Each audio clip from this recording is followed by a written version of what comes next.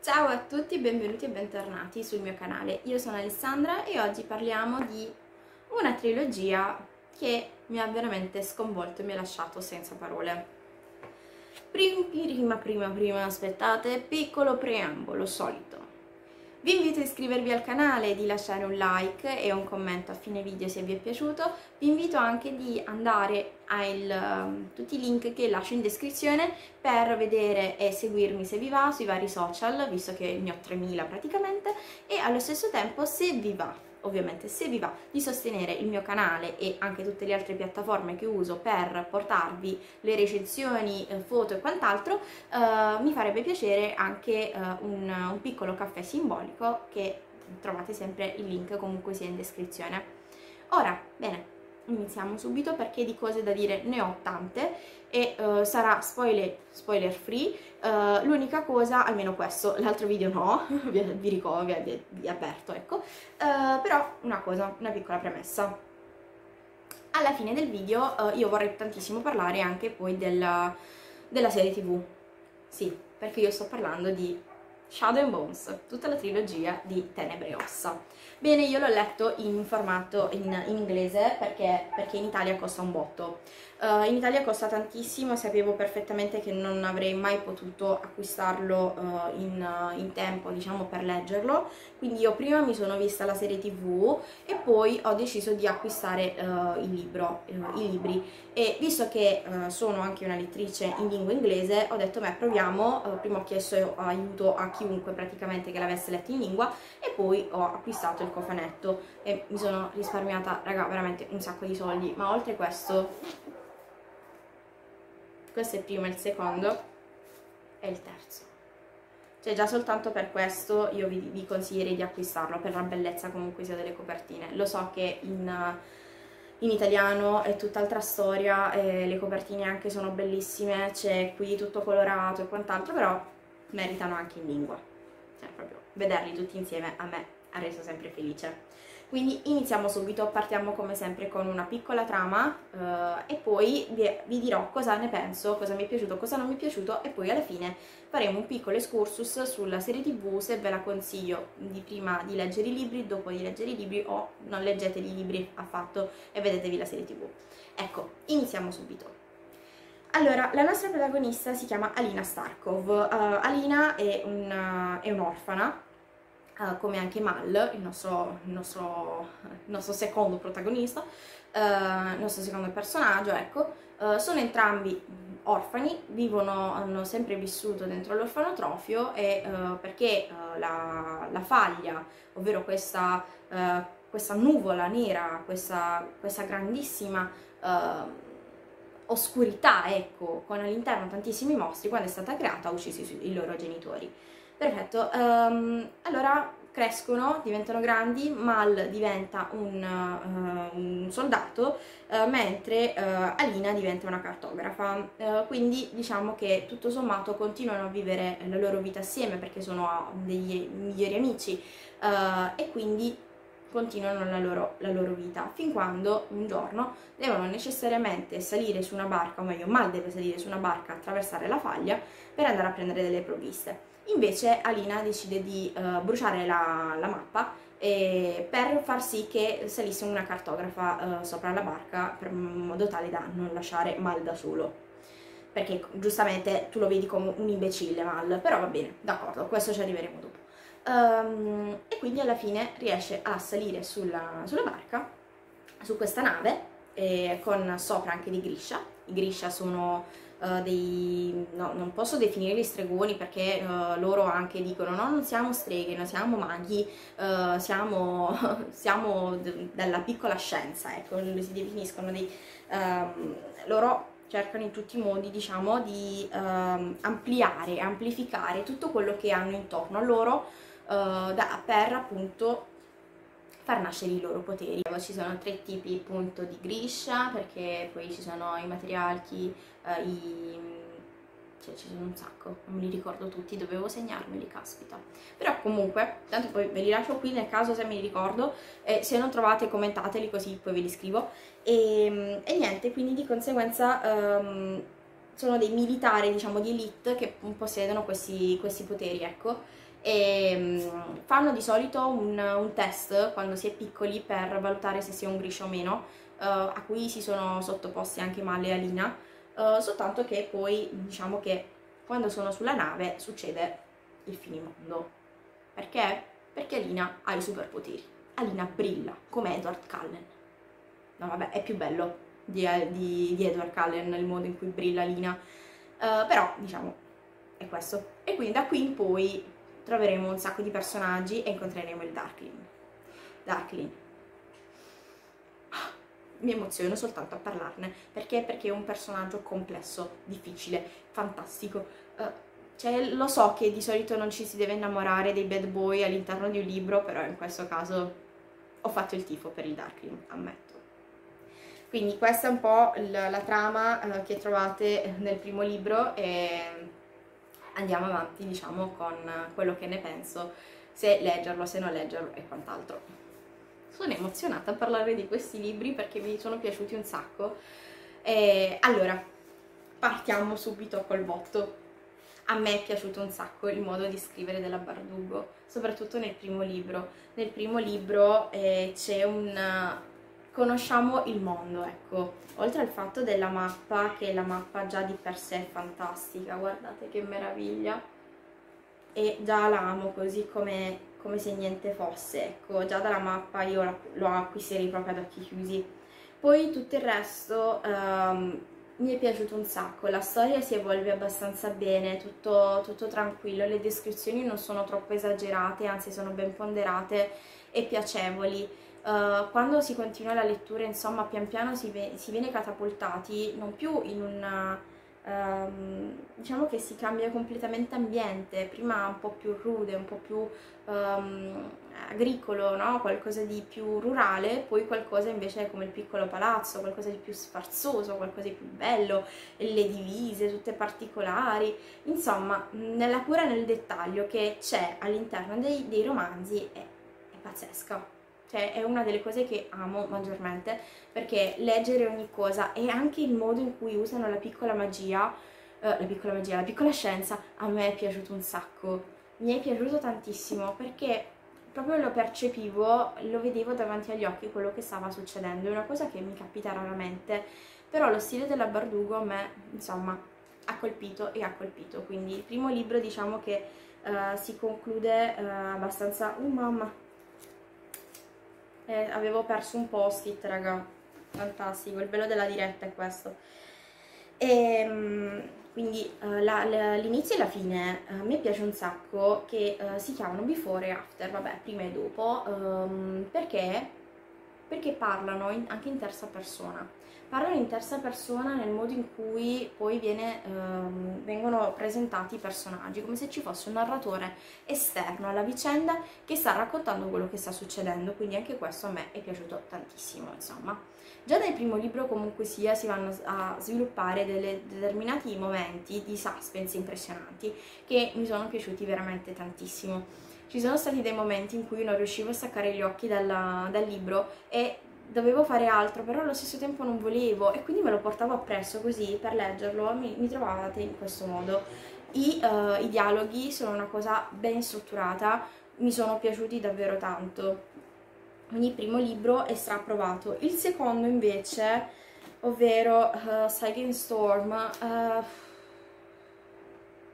è, una, è una rottura di scatole, ammettiamolo. Se non ci fosse stato Nicolai, il libro sarebbe stato da buttare Nicolai è stato un personaggio fondamentale sia in questo libro sia nel prossimo, e però cioè, se non ci fosse stato lui a tirare le fila della situazione penso che mh, mm, avrei gettato la spugna, ecco.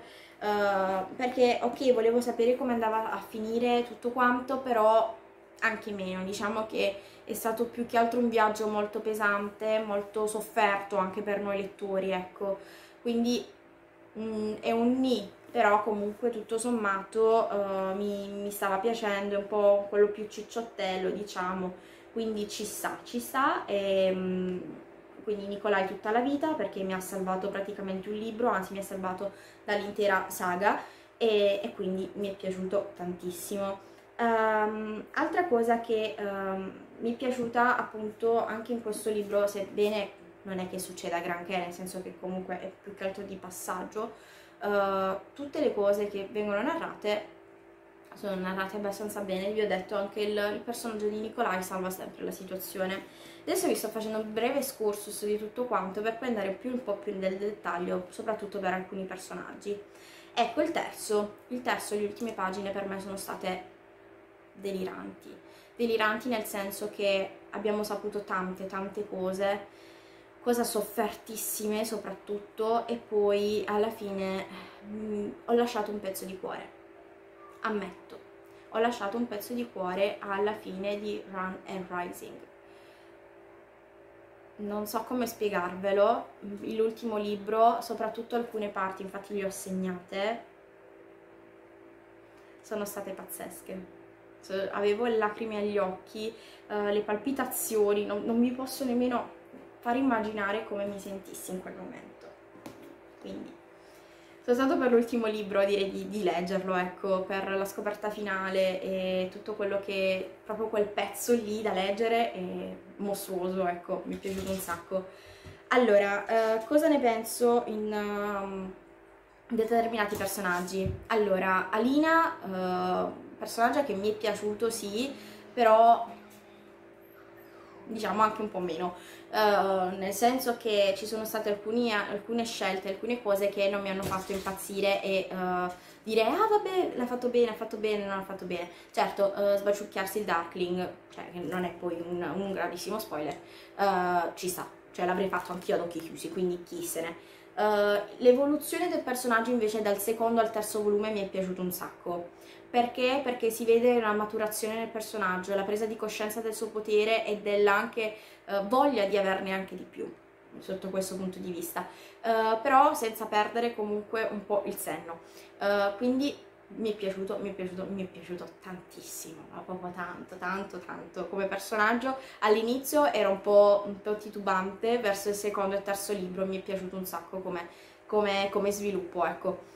Mal, Mal tutti quanti lo odiano, non so per quale motivo, lo reputano egoista, bruttissimo come personaggio e quant'altro. A mio parere è un personaggio invece che non è stato capito, perché uh, a, um, accettare da un momento all'altro che la sua migliore amica d'infanzia, che ha sempre um, schifato, tra virgolette, insieme a lui Grisha, uh, per quello che avevano, um, sia anche lei una Grisha, non è facile da digerire. Puoi essere anche il, innamorato al mille per mille, diciamo che non lo digerisci con, con estrema facilità, quindi di conseguenza tutte le azioni che compie Mal a mio parere sono anche più che giustificate. Uh, certo, a volte lo vorrei prendere a cazzotti, per carità ci sta, uh, però tutto sommato è un personaggio che a me è piaciuto e anche molto, è un personaggio cardine anche della, della storia, quindi qua ci siamo dei friends to lover, però anche se non, non, non stimo tantissimo per queste per queste, per queste evoluzioni diciamo di,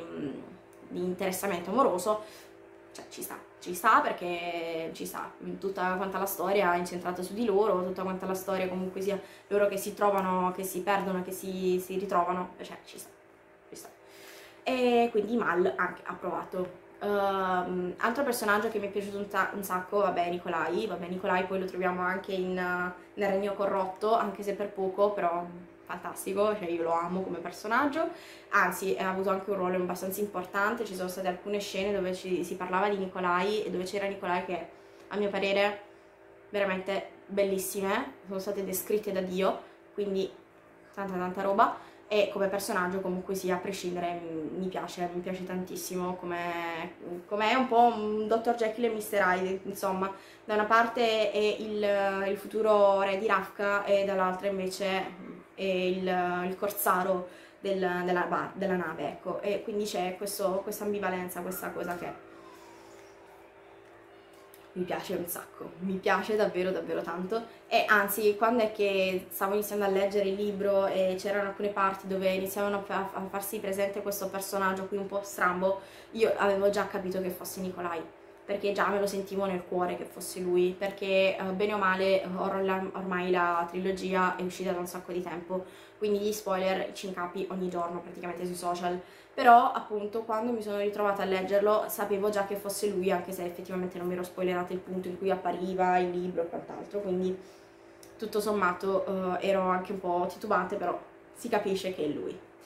Andiamo avanti con altri personaggi che uh, mi sono piaciuti, sì, vabbè, quelli, quelli di, come posso dire, uh, quelli di sfondo non ve li elenco perché tanto comunque, cioè, togliendone alcuni che possono essere un po' più di, di spessore, ecco, uh, non, non mi hanno fatto impazzire, hanno avuto un ruolo fondamentale, però mi baserò principalmente su quelli un po' più, un po' più primari, ecco quindi arriviamo al Darkling. Darkling è un personaggio complesso ma a certi livelli che mm, non, non, so nemmeno spiegarvelo. È un personaggio cupo, è un personaggio che ha carisma, ehm, che sa che comunque ha il suo fascino e ne approfitta.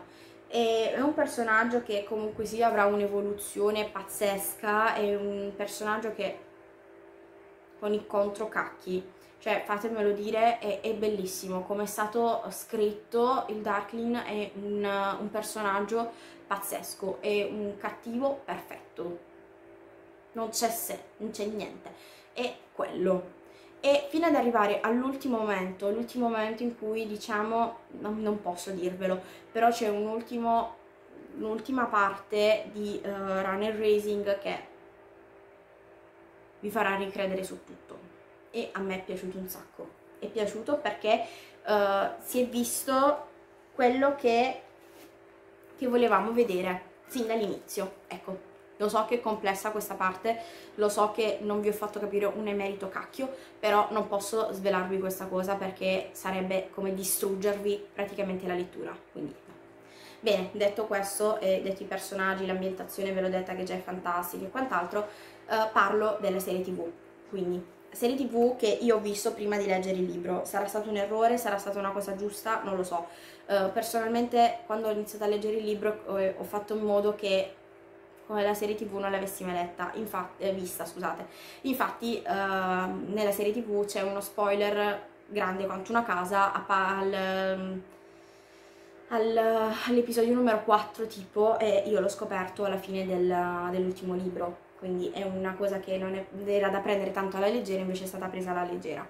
Quindi già su questo uh, ho un po' di dubbi. Però uh, se è mm. vista soltanto la serie tv a sé, senza voler leggere il libro, è un'ottima serie fantasy. Si vede che comunque sia il budget era ridotto perché alcune scene sono fatte un po' con i piedi, però comunque uh, merita, merita tanto e anche l'incastro comunque sia con Sedi Corvi uh, hanno cercato di, uh, um, di ottimizzare diciamo, i tempi e di, di, incastrare il tutto anche perché Sedi Corvi è più o meno qualche anno dopo uh, quello che succede la guerra di, in, in, in Tenebre Ossa. Quindi di conseguenza è una cosa totalmente differente che incastrarla c'è, ce n'è voluto a mio parere però ci sta quindi Darkling per esempio non mi è piaciuto, non mi è piaciuto perché, perché l'hanno reso troppo umano. Lo so che era, era, voluto da Ben Bars, per carità, tanto di cappello a Ben Bars, però fatti i cacchi tu la prossima volta. Perché era un personaggio così complesso, così articolato che tu me l'hai reso un po' un fantoccio, quindi a me questa cosa non è piaciuta tantissimo. Um, mi è piaciuto, cioè se non avessi letto i libri avrei fatto, mm, non lo so, mi sarei innamorata del Darkling, però avendo letto quei libri no, è un no, grande quanto una casa. diciamo che non è proprio il, il, personaggio diciamo, che mi ero immaginata. Alina sì, Alina mi è piaciuto un sacco perché ha rappresentato quello che mi ero immaginata io nel, nel libro, nel leggerlo, quindi ci sta.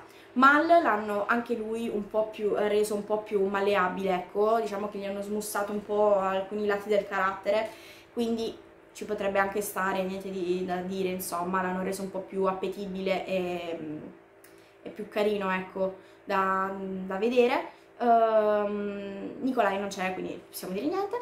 Uh, Inesi, Kaz, Jasper, che sono praticamente i, i personaggi, i protagonisti di Sedi Corvi, diciamo che eh, togliendo Kaz, tutti gli altri due erano azzeccatissimi. Però di questo poi ve ne parlerò, quindi ci sarà la seconda parte di cosa ne penso della serie TV, nella parte in cui parlerò di Sedi Corvi.